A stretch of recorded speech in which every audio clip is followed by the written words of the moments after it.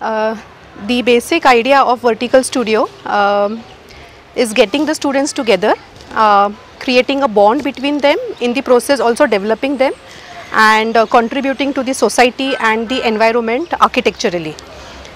So this is the main aim of the thing. Uh, all right, we have got uh, quite some solutions. Uh, every year what we do is, this has been happening since 5 years and we have different themes. So last year we had the theme of um, Kumbh Mela. Before that we had ecotourism and this time uh, the theme was uh, developing a new image or new icon for our Nashik, the Nashik city.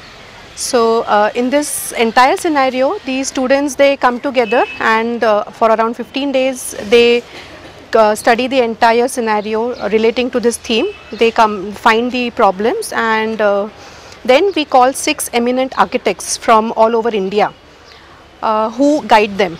So they are with them 24 hours almost for four days and uh, there are like 300 mines 22000 hours given in the entire process and uh, the process is what is important which the students can apply later on.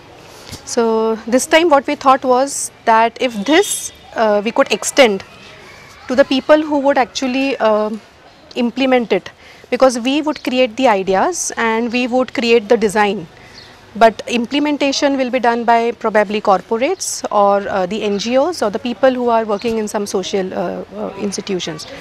So that is the uh, whole idea why, why, we also incorporated uh, this time all the people around who could actually also help in developing the Nashik and also act as an incentive for the students and us.